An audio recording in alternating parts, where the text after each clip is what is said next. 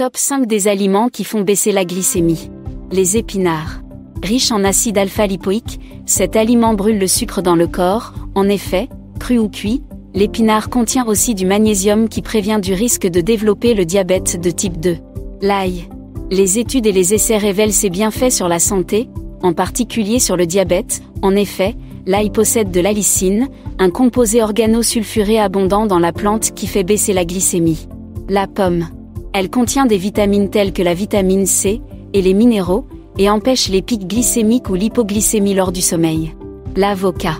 Riche en fibres et lipides, en moyenne 12 grammes de fibres et 28 grammes de lipides, l'avocat est réputé pour faire baisser le taux de sucre dans le sang.